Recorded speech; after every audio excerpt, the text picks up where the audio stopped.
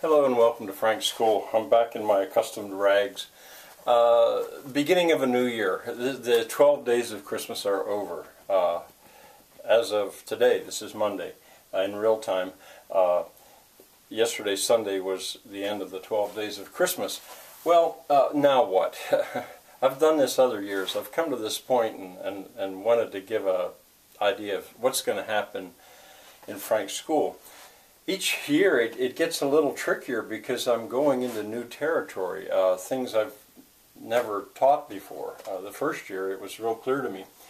Well, the big news is there's going to be no Macbeth. I am not going to uh, guide you through a viewing of, uh, of the movie Macbeth. I, I bought this uh, online and I looked at it.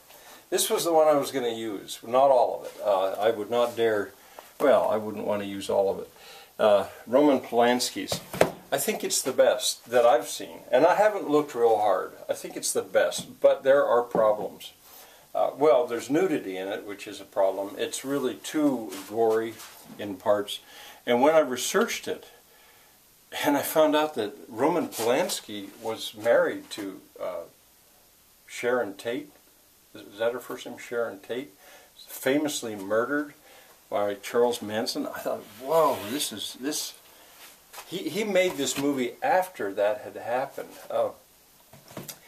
It, uh, in any case, it's too dark. Uh, it's too dark. Even for 10th graders, I would not use it in school. Um, and I don't actually think it would be good to see it as a movie. Rather, I think, see, I admire it greatly. It's a great play, and the poetry in it is maybe the best of any Shakespearean play.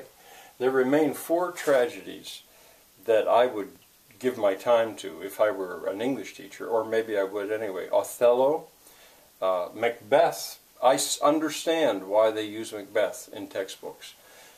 Uh, because at this point I defer to English teachers. Uh, an English teacher well, let me well let me finish saying uh, Othello, Macbeth, King Lear, and Hamlet, and uh, uh, you stay out of the camera. Um, uh, King Lear and Hamlet. Those are the four that I really think are, are worth your while to see. Uh, but back to this, I, I realized I had sort of a enlightenment. I'm an humanities teacher, not not just an English teacher.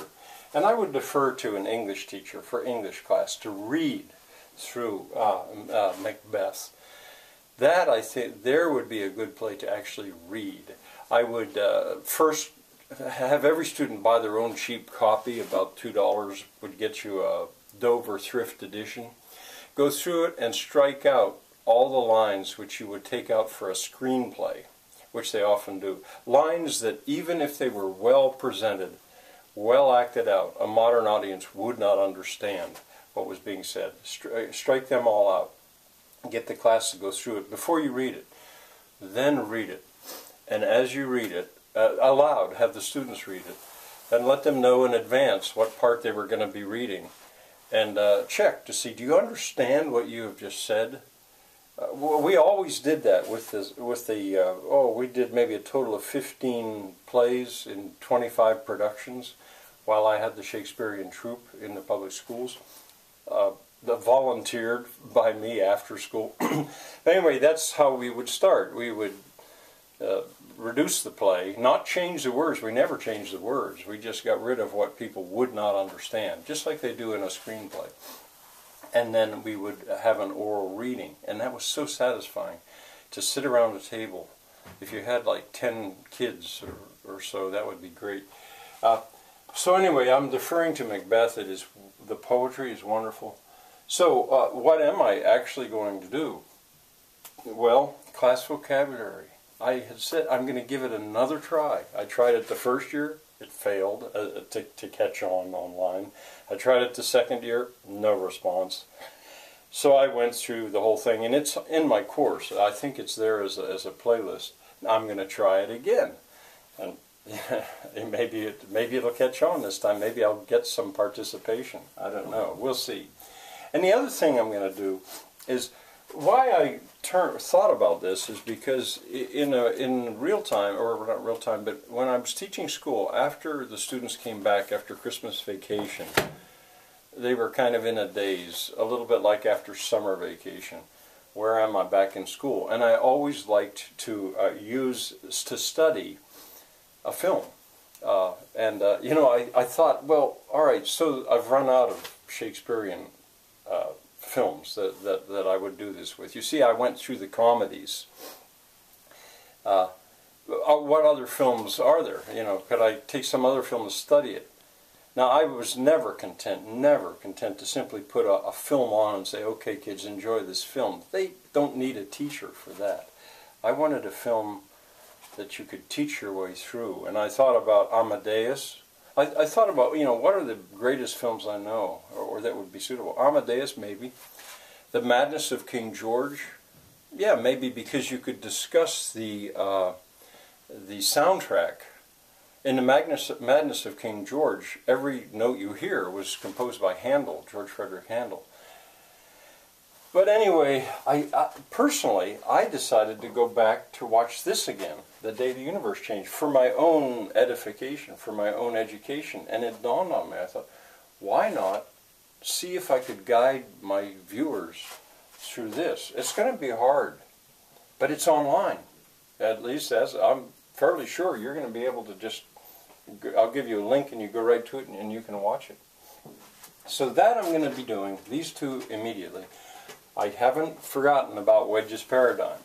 That's like this monster ahead of me. I, I am determined to tackle that. And the paradigm itself won't be too hard.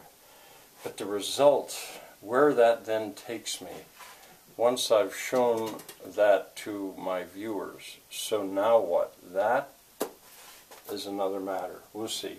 A paradigm is a way of organizing information.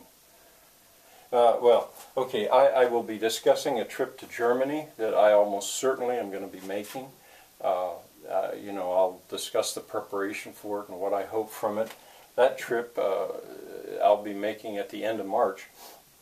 German. I, I, think I'll go back to teach some more German. And at the moment, I'm thinking about actually teaching some German grammar.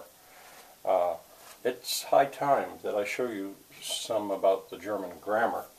And then various projects, uh, ultimately leading to the Old and Other Ways Museum, which is the sum of all these projects that I have out there.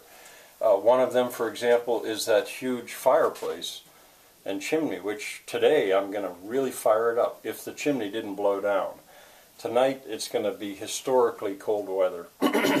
And I, if the if the fireplace works, I'm going to burn it as long and as hot as I can today to get all that masonry warmed up, and it'll carry it over through the night, like like what's called in German a Kachelofen, uh, a masonry oven. In a way, that's what it is. So there'll be more of that. So there's what's coming, and uh, and tomorrow uh, these two these two things I'll be dealing with them. All right. Uh, hope to hope to see you tomorrow.